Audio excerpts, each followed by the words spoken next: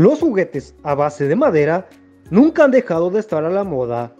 Artesanos que se encuentran en el Andador San Roque de Tuxtla Gutiérrez invitaron a padres y a madres de familia a acudir a este espacio para comprar los regalos que podrán obsequiar a menores en el Día del Niño y la Niña, así como en otras fechas después del 30 de abril.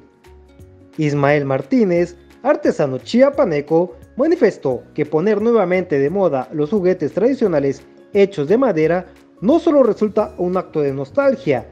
sino que esto incentiva a dejar al lado los dispositivos que ofrecen juegos sin realizar un mínimo esfuerzo.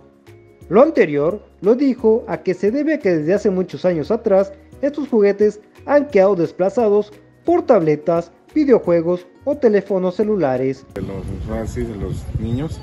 son los que les da sentimiento y pues nostalgia porque en su momento ellos lo jugaron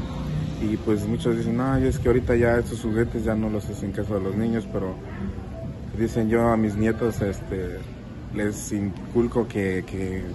jueguen estos juguetes y por eso vengo y les compro sus regalitos. Entre los artículos que podrán encontrarse se encuentran trompos, yoyos, caballitos de madera, juegos de mesa, accesorios de muñecas, marionetas, casitas, camas, comedores, instrumentos musicales y un sinfín más de juguetes que años atrás eran utilizados para la diversión de los más pequeños en el hogar. En este sentido, el artesano refirió que en este espacio, que se encuentra ubicado sobre la segunda sur oriente en el barrio San Roque, uno de los más emblemáticos de la capital chiapaneca. Para Diario Media Group, Ainer González.